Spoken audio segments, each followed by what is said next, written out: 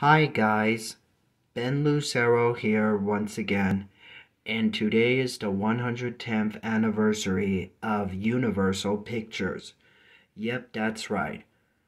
On this day in 1912, Universal Pictures was founded, and it looks like a really good motion picture company.